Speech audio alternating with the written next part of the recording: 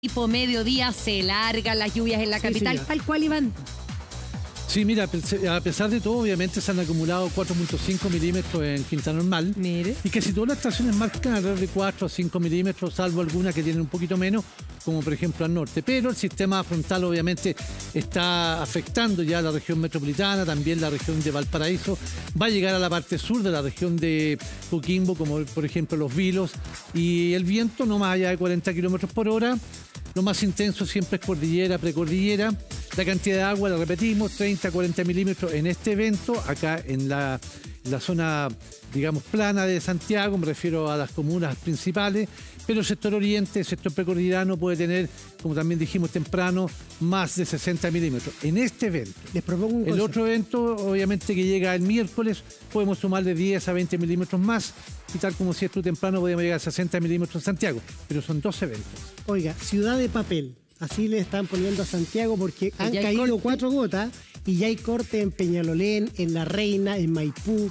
Oye, Esto no puede ojo, ser, ¿ah? Cuatro gotas y como dice Iván Torres, sin vientos que justifiquen que se corte. Además, Claro, o sea, también hay que buscar otros factores porque se cortó, cuál es el problema, hay que verlo. Pero en fin, al cabo, el viento no es intenso, es un viento esperable, no más allá de 40 kilómetros por hora.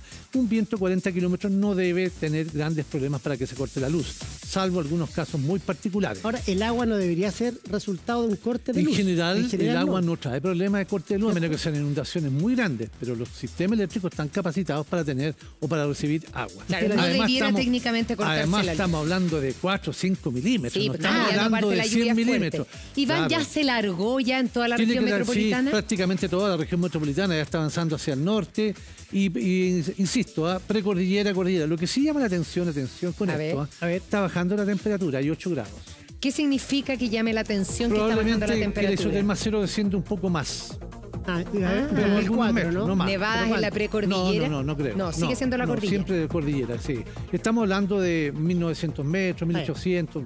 Podría Ah, llegar hasta baja por un poquitito. Un poquitito, claro, pero no es tanto.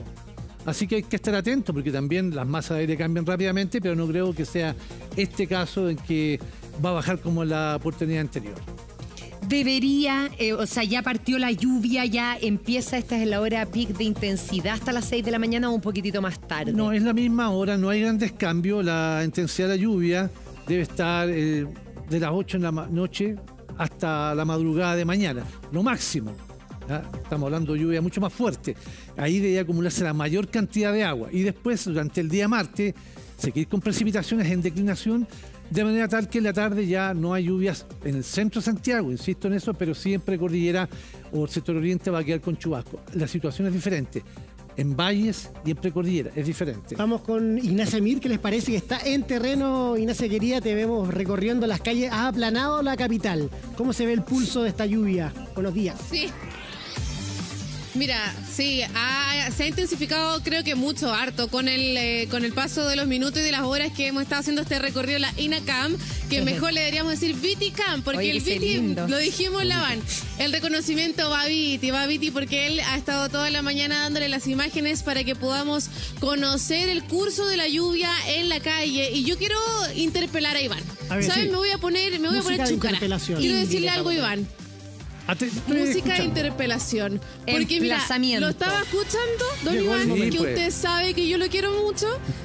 Y decía que no había viento. Pero ¿cómo Ya. usted me va a decir que no hay viento si tenemos esta imagen acá? Mira, Viti, si me puede mostrar a la izquierda. Para mí esos son vientos Todas las huracanados. hojas No. que han caído y que siguen cayendo. Viento- Acá abajo nos estamos No, no, no. congelando del Viento viento. no están más muy allá de fuertes. 40 kilómetros por Sí. hora. No más, No o sea, más hay allá de viento, 40 pero no más fuerte de 40 kilómetros Claro. por hora. O sea, un sistema frontal normal no trae vientos más allá de 40 kilómetros por hora. Es lo que hemos dicho y hemos repetido. En la mañana no había viento en la costa y en algunos sectores, pero el viento puede llegar no más allá de 40 kilómetros. De hecho, hay informe de viento, por ejemplo, en el sector de Tiltil, que llegó a 35, 37 kilómetros.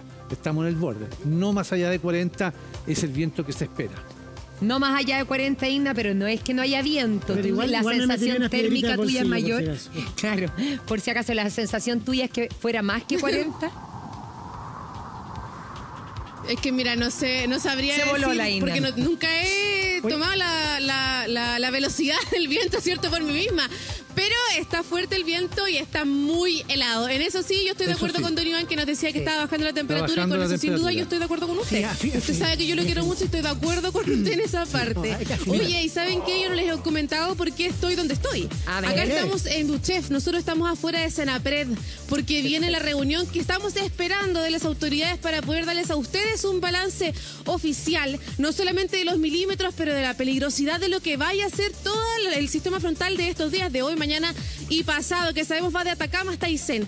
Esta reunión que se está tomando justamente aquí, desde ya, comenzó hace un ratito y sabemos que alrededor de las una y media vamos a poder tener información veraz para usted para decirle todo la- cierto como lo- todo lo que se va a tomar, las repercusiones que se va a tomar el sistema frontal, eh, no solamente el balance que se va a hacer de los milímetros, pero además todas las consecuencias que podría tener en toda la región del país, Muy región por región. Eso es importante, no solamente la región metropolitana, vamos región por región para darles a ustedes esa información veraz. En un ratito más vamos a poder saber y vamos a poder pasar adentro para poder tener esa información.